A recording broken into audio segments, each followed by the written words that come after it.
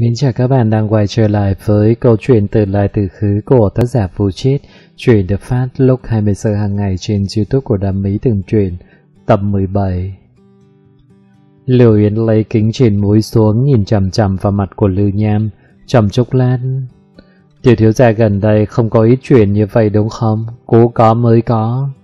Lử nhèm không nói gì, cậu bà phải thế nào cũng được như này không lừa được hắn.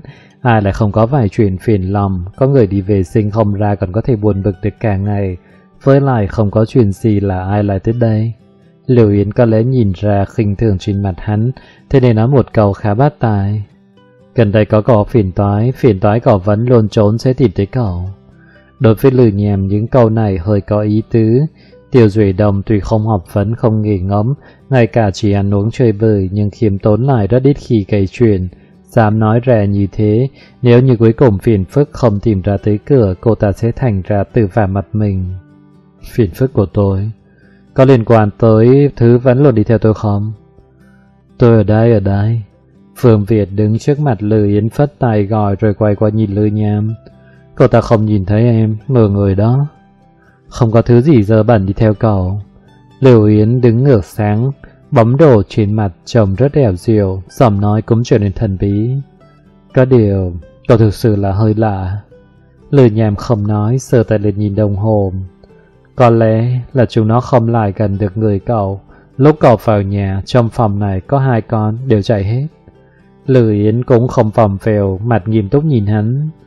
Tôi không nhìn thấy chúng, tôi có thể cảm nhận được, nhưng giờ đều không cảm nhận được nữa. Lư nhàm liếc nhìn mặt Lư Yến một cái, những câu này như giáo sứ thổi qua lòng hắn. Dù sao bọn họ thấy tôi cũng sẽ sợ tới mức chạy loạn khắp nơi như thấy quỷ, nhoáng cái đã không thấy đâu. Đây là lời Phương Việt từng nói quỷ thấy cầu sẽ bỏ chạy. Chỉ không cảm nhận được bên cạnh tôi có gì hả? Lư nhàm tuy cảm thấy câu này của Lưu Yến rất bắt tai, nhưng trước lúc mọi chuyện chắc chắn trăm phần trăm hắn sẽ không dễ dàng tin. Tiểu thiếu gia, bên cạnh cậu không có thứ gì giờ bản cần đuổi đi cả. Nếu như cậu không tin tôi, có thể tự hỏi người khác. Lử Yến nhìn từ trong phòng bàn uống nước. Tiền cũng phải tiêu cho xứng đáng chứ đúng không? Lử nhàm cười xoay người chuẩn bị đi, Phương Việt đột nhiên chắn lại trước mặt hắn cao mày. Đuổi đi, là muốn đuổi em đi hả? Đi thôi. Lư nhàm nói một câu xẹt qua người Phương Việt bước nhanh ra khỏi nhà Lư Yến. Đuổi ai đi chứ? Phương Việt bám chặt theo hắn vào trong hành lang, đi lặp lại mấy câu, lại là muốn đuổi em đi hả? Không, Lư nhàm sơ tay lên che miệng, cậu đừng đoán bừa. Ra thang máy rồi Phương Việt vẫn buồn bực đi theo sau Lư nhàm. Anh đi tìm cô ta chính là vì muốn biết đuổi em đi thế nào đúng không? Thật ra anh không muốn yêu đương với em đúng không? Lư nhàm cảm thấy sau lưng lạnh toát trạng thái này của Phương Việt dường như lại không kiềm chế được. Một con quỷ nhạy cảm tới mức độ này, hành tẩu giữa hai giới ẩm dương có phải là quá nguy hiểm không? Hắn nhanh chóng bước vài bước vào giữa hai tòa nhà, đứng lại bên cạnh bồn hoa, vừa nhìn thì đã biết không được ai chăm sóc trong thời gian dài, chắc chắn xung quanh không có ai. Chúng ta nói chuyện đi. Nếu anh muốn bảo em đi thì cứ nói thẳng ra là được. Phương Việt không nghe hắn nói gì. Tôi chỉ muốn biết cậu là thế nào thôi. Lử nhàm cảm thấy lòng bàn tay cũng đổ đầy mồ hôi. Anh muốn biết gì chứ?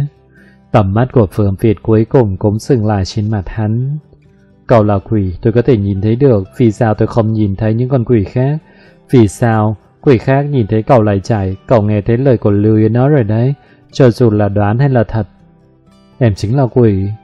Phương Việt hồ lên, em chết rồi, em đã thấy mảnh bà, thấy cầu này hà, chỉ là chưa uống được canh mảnh bà thôi. Từ nhàm cũng không nói gì, không dám nói. Phương Việt cũng không hồ nữa, chỉ nhìn chằm chằm hắn một lúc, hà thấp giọng xuống. Em chính là một con quỷ, một con giá quỷ không đầu thai được. Ban ngày ban đêm ngày nào em cũng di chuyển qua lại, không ai để tới em. Anh không hiểu, kể cả anh là sát thủ, anh giết người, nhưng anh vẫn sẽ có bạn. Vẫn có người để nói chuyện, có người biết đến anh. Giọng phường Việt ngày càng thấp, lẫn cả bất đắc dĩ. Lừ nhàm cũng thở dài khẽ khẽ. Rượu. Chính là anh không tin. Thôi, đi đây. Lừ nhàm chưa kịp nói, cậu đã xoay người đi. Tốc độ rất nhanh, phất ống tay áo không mang theo một gợn mây. Lúc lừ nhàm lấy lại tinh thần, Cậu đã sắp đi tới đầu kia của lũng hoa Đi đâu? Lử nhàm hỏi với một câu Tìm một người vừa chết xem có đầu thai được không? Phương Việt không quay đầu lại mà tiếp tục đi. Ai? Lử nhàm chạy nhanh đuổi theo. Hắn sợ Phương Việt ở trạng thái này sẽ xảy ra chuyện. Phương Việt đã sắp chạy tới đầu kia buồn hoa. Đi nửa đường chính là vào khu dân cư. Lử nhàm không muốn để người khác nhìn thấy mình đuổi theo không khí trời như kẻ ngốc. Nhưng Phương Việt đi rất nhanh, Còn hoàn toàn không có ý định dừng lại. Từ từ Lử nhàm chạy nhanh theo bản năng Đưa tay ra tóm lấy cánh tay đàm phùng rất hiền ngang khí khách của Phương Việt. Cậu đừng. Phương Việt đột nhiên sừng bước Lử nhàm cũng xứng lại tại chỗ. Đừng thả tay ra. Phương Việt quay đầu lại hô một tiếng rồi lại hô liên tục. Đừng thả tay ra, đừng thả tay ra. Lư nhàm không thả tay ra Lòng bàn tay cảm giác rõ ràng được cổ tay hơi gầy của Phương Việt. Hắn hơi cò ngón tay lại vẫn ở đó. Đầu ngón tay có thể sờ rõ ràng trên xương cổ tay. Đừng thả tay ra. Phương Việt trơn tròn mắt nhìn hắn. Không thả. Lử nhàm trả lời không thả tay ra, Nhưng trong đầu hắn ong mong không thả ra cũng không biết nên làm gì. Hôn. Phương Việt nói, hôn em một cái đi. À Lư nhàm ngây người lại gần Phương Việt hôn lên đầu thì hắn cũng không nghĩ nhiều. Phương Việt thấp hơn hắn nửa cái đầu Rướn lại gần là khéo hôn được lên chán Điên rồi, Nhất định là điên rồi, Vậy mà lại muốn hôn một con quỷ giữa ban ngày ban mặt Ở trời đất sáng rõ. Nhưng ngay lúc lừ nhàm cảm thấy Mình sắp hôn lên chán Phương Việt, Lòng bàn tay đột nhiên trống rỗng, Bàn tay đang nắm chặt cổ tay Phương Việt Đột nhiên nắm thành nắm đấm. Một luồng khí lạnh cuốn lấy cả người hắn Người hắn hơi lào đảo hôn vào khoảng không. Làm sao thế? Phương Việt sốt ruột hô một tiếng, Lời nhàm không nói gì chậm rãi lùi lại. Sao lại thả tay ra? Phương Việt cau mày giơ tay lên trước mặt hắn. Tôi không có thả tay. Lử nhàm thở dài nhẹ nhàng xoẹt qua cánh tay của Phương Việt. Cậu! Phương Việt nhằm chằm chằm lên tay mình đột nhiên nhào lên người Lư Nham Lư Nham chưa kịp trốn, Phương Việt đã xuyên qua thân thể hắn, Lạnh thấu tim, trắng lóa Hắn cúi đầu hắt xì một cái xuống đất, Ngồi xuống bên cạnh bồn hoa nhỏ. Phương Việt vô hụt xong thì cũng không cử động, Đứng một bên quay lưng về phía Lư Nham, Vẫn xuất thần không nhúc nhích. Lư Nham không dục cầu đi Chầm điếu thuốc lên ngầm, Nắm một bụi cỏ khô từ trong bụi cỏ bên cạnh ra, Ném từng cái lá cây xuống đất. Là quỷ, Không phải, Là quỷ, Không phải. Mình điên rồi, Mình điên. Điên rồi không điên Hắn cứ mờ màng lặp đi lặp lại động tác giả thần xào quỷ những động tác xé lá may mắn rồi lặp đi lặp lại chỉ để bản thân mình chấn tĩnh giữa ban ngày, ban mặt như thế. Hắn cũng chẳng biết tại sao mình lại làm câu chuyện như vậy. Lư nhàm, Phương Việt dùng giọng nói hắn. Ừ, làm sao vậy? Lư nhàm ngẩng đầu lên nhìn thấy Phương Việt vẫn đứng quay lưng về phía mình. Giúp em. Phương Việt chậm rãi quay đầu lại. Em muốn biết em rốt cuộc là như thế nào. Trong mắt Phương Việt lòng lành nước mắt, lời nhảm vẫn luôn cảm thấy quỷ còn biết khóc rất buồn cười. Nhưng giờ nhìn thấy nước mắt của Phương Việt lại không dễ chịu cho lắm. Hắn dí tắt thuốc bên cạnh chân. Được. Còn yêu đương với em không? Phương Việt vẫn nhỏ giọng hỏi. Lời nhàm không nhìn được liếc mắt nhìn cậu một cái. Vào thời khắc u buồn như thế này mà lại còn có thể nhớ được chuyện này. Có. Hắn đứng lên phủi bụi trên quần, rồi nhìn lên tay mình, cứ cảm thấy trên tay còn xúc cảm, lúc tóm lấy cổ tay Phương Việt. Vốn là chẳng có chuyện gì, tôi nói đưa cậu tới chính là để hiểu được chuyện cậu là thế nào, kết quả là cậu. Cô ta nói muốn đuổi em đi, còn nói em là thứ dơ bẩn. Phương Việt cau mày, em vừa nghe thì bực mình, em bẩn chỗ nào chứ em không bẩn chút nào hết, trước lúc chết ngày nào em cũng tắm. Cậu nóng này cái gì? Cô ta bảo cậu không phải là quỷ tôi còn không nóng đâu. Lư nhàm xoay người chậm rãi đi ra ngoài. Nếu như cậu không phải quỷ, phải là tôi có khả năng bị tâm thần, cậu hiểu không? Anh bị bệnh hả? Phương Việt đuổi theo đi song song với hắn. Em sẽ không cho anh bị bệnh, là vì bệnh nên mới không làm sát thủ được nữa hả? Cậu đừng nói chuyện với tôi. Lười nhàm cảm thấy cứ nói chuyện như vậy, Hắn sẽ thực sự cần liên hệ với bác sĩ tâm lý của hắn. Về nhà đã. Được. Phương Việt gật đầu. Quản Ninh ngồi trước cửa kính quan sát đất rất lớn trong văn phòng. Ánh nắng hát vào, chiếu sáng nửa căn phòng. Lư nhàm chắc sắp tối tìm tôi hỏi rồi đó. Quản Ninh dùng mũi chân chạm đến thảm dày, xoay ghế nửa phòng quay mặt về phía sofa. Ngồi trên sofa là một người đàn ông ngâm một điếu xì gà. Chắc chắn vậy hả? Cậu ta hẳn sẽ biết em không nói cho cậu ta. Người đàn ông cười. Nó sẽ thử mọi khả năng, nó chính là người như vậy. Quản linh lại quay ghế về phía cửa kính. Lần sau anh đừng có chưa chào hỏi gì đã tới đây, lại gặp phải anh lần nữa nó sẽ nghi ngờ. Trốn đi là được. Người đàn ông hút xì gà không cho là đúng. Quá ngây thơ. Giờ anh đã khỏi nơi này nửa tiếng sau nó đi vào có thể biết được anh là nam hay nữ, hút thuốc lá nhãn hiểu nào, biết anh quen dùng tay trái hay tay phải. Lão Bảnh, đó là thủ hạ ưu tú nhất của tôi, kể cả nó có bán xin nướng hai năm rưỡi này thì cũng thế. Tôi chưa có nói gì cả mà. Người đàn ông kia nở nụ cười, bảo trẻ con thế. Tôi lớn tuổi rồi, tương lai sớm hay muộn cũng chỉ là một lão bà tuổi già neo đơn chỉ trông vào nó dưỡng lão cho tôi thôi. Quản đình nhìn một đống nhà cao tầng ngoài cửa sổ.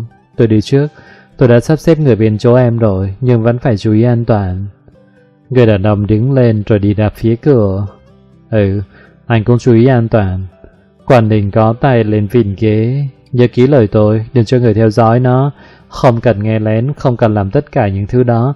Nó sẽ phát hiện một khi nó cảm thấy tôi có vấn đề muốn điều tra rõ, Vậy thì tất cả chúng ta đều gặp phiền toái đó. Biết rồi. Người đàn ông kia đi được hai bước lại dừng. Tôi biết em muốn chờ cậu ta nhớ ra, Nhưng nếu như cậu ta mãi mãi không nhớ ra được thì sao? Nó sẽ nghĩ cách là mình nhớ ra được thôi. Nó chắc chắn như thế hả? Trừ phi nó nhớ ra được rồi nhưng không nói cho tôi. Quản ninh đứng dậy xoay người. Lão Bảnh Chúng ta phải nhiều người đi như vậy, chỉ có mình nó sống sót trở về. Hơn nữa kể từ hôm đó XT đã bắt đầu không có bất cứ dấu hiệu hoạt động nào cả. Cứ như vậy đi. Người đàn ông quay đầu lại thở dài. Em thực sự có tự tin hả? Cảm ơn. Quản đình cầm tách cà phê trên bàn lên uống một hộp. Cửa đóng lại rồi, quản đình ngồi xuống, nhìn chằm chằm vào màn hình máy tính rất lâu. Người đàn ông này tên Bành Viễn, cũng coi như có sinh tử chi giao với cô. Mấy năm trước còn yêu nhau, rồi lúc cảm thấy hai người hợp tác vui vẻ như vậy, yêu vào rồi nhất định cũng sẽ phối hợp án ý. Không ngờ cho án ý duy nhất chính là sau khi tiếp xúc thân mật được một thời gian, cả hai đều cảm thấy đối phương toàn chỗ buồn nôn, muốn nôn cũng không thể nào nôn ra được đành phải lôi thể thành quan hệ sinh tử chi giao. Có điều lừ nhàm tuy là cô đã tự tay chùi đít xì tẻ lôi lớn, nhưng lại không quen biết bảnh phiến. Bảnh viễn chỉ tồn tại trong một thân phận đến chết cũng không có thể công khai với quan ninh. Cậu cưng đem cầu hả? quản ninh nhắm mắt lại lời biếng rồi thắt nâng. Mày định để cho bọn chị chờ bao lâu nữa? Nhàm nhàm. Phương Viễn xối tay trước mặt Lư Nham, rồi một cái. Lư Nham ngầm thuốc lá ngồi trên sofa xem tivi, tiền tay phất qua cánh tay Phương Việt một cái. Vẫn không được. Phương Việt vẫn cao mày. Không phải cậu là bò là muốn xem tivi hả? Lừ nhàm cả tàn thuốc, bật lên cậu lại không xem. Xem, Phương Việt ngoảnh mặt về phía tivi. Ôi, người này không phải là mới nhảy là lúc nãy hả? Nhìn lâu là kẻ thù của anh ta. Lừ nhàm nằm xuống sofa, nên ăn cơm chưa rồi nhưng hắn vẫn chưa nghĩ ra lên biểu đạt ý nguyện muốn ăn cơm của mình cho Phương Viễn biết thế nào. Đường đường là sát thủ S, suốt ngủ xong bán xin nướng thì thôi, phải mà ăn bữa cơm trưa tôi cũng phải suy đi tính lại. Sợ em cái nữa đi. Phương Việt lại dối tay tới. lười nhàm cầm điều khiển từ xa gõ gõ lên tay cậu, vẫn gõ vào khoảng không. Vẫn không được hả Hoạt động ảnh sợ em một cái đã bắt đầu từ lúc đó bọn họ về nhà, tới giờ đã tiến hành sắp được 2 tiếng. Một bộ phim điện ảnh sắp chiếu xong vậy mà vẫn không có vẻ đỉnh kết thúc. Không cần cứ gọi tôi sờ cậu đâu. Lừ nhàm liếc mắt nhìn Phương Việt, lúc cậu muốn thử thì cứ sờ bừa cái gì đến là được. Không muốn sờ những thứ khác. Phương Việt chào mày ngồi dưới cạnh sàn nhà. Vậy thì cậu cứ sờ luôn tôi đi. Phương Việt gật đầu, vẫy tay sờ soạn lên đúng quần hắn. Thầy, sờ vào đâu đấy lạnh mốt, giờ đang là mùa đông đấy biết không? Thế mùa hè là được sờ hả? Phương Việt rụt tay về để hỏi. Mùa hè cũng không được sờ lung tung. Lừ nhàm suýt trước nữa thì bột miệng mùa hè thì được sờ Nói tới mùa hè lừ nhàm giật giật quần. Lúc mặt trời trói chang chiếu lên đầu hắn còn thật sự hy vọng rằng có cái quạt điện ở háng. Hàm chỉ có yêu đương mà không cho sờ chứ. Phương Việt tuy rút tay về nhưng vẫn bất mãn nhỏ giọng lầm bầm một câu. Còn là tình huống đặc thù, cậu lạnh như đống băng. Lử nhàm xối tay búng một cái lên chén cậu lại búng vào khoảng không. Với lại cậu cũng có sợ được đâu. Ai bảo thế để em ra ngoài tìm một người. Vương Việt đứng lên đình chạy. Thôi đừng. Lử nhàm nhanh chóng kéo lại một luồng hơi lạnh trên người cậu. Cậu đó không được gọi tìm người, gọi tìm người là người chết hiểu không? Sợ anh một cái thôi thì cũng đủ thời gian cho người ta chết được hả? Có lần em cũng dùng thân thể của một người, phải gần ba ngày ông ta mới chết đó. Phương Việt vẫn không phơ lòng với Lư Nham. Một sát thủ còn là sát thủ chuyên nghiệp, sao gan lại bé thế không biết, chưa huấn luyện bao giờ hả? Ờ, Lư nhàm bị câu nói cho một buồn cười. Nói thì giỏi đấy, câu này câu kia còn biết sát thủ phải biết huấn luyện kia hả? Đương nhiên, em cũng được huấn luyện mà. Phương Việt nói xong câu này thì ngây người nhìn Lư Nham. Cậu, huấn luyện? Huấn luyện cái gì? Phương Việt hơi cuống giống như lúc cậu nói ra một câu tuần không ăn cơm cũng không chết đói. Câu huấn luyện này cũng là buồn miệng thốt ra, tự nhiên lại không biết mình đang nói gì. Em không biết, em không biết sao lại nói ra câu này. Cậu không biết lừa nhàm có thể tin cậu hay không, nhưng ngoài không biết cậu không tìm được cách nói thích hợp hơn. Lừa nhàm nằm trên sofa không đồng đầy, thuốc lá đang ngầm cháy ra một đoạn thật dài, hắn mới gạt tàn thuốc. Không biết hả? Ừ, anh không tin hả? Không, tôi tin.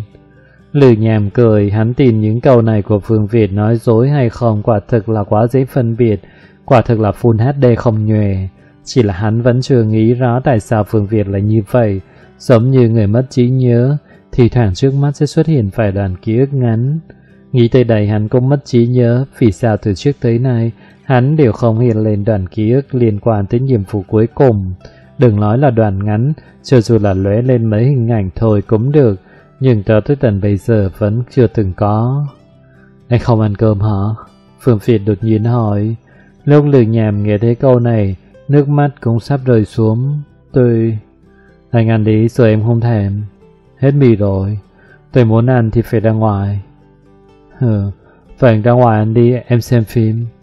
Lừa nhàm cảm động dập tắt thuốc, trong máy tính tôi có nhiều phim lắm, cậu muốn xem cái gì tôi mở ra cho cậu.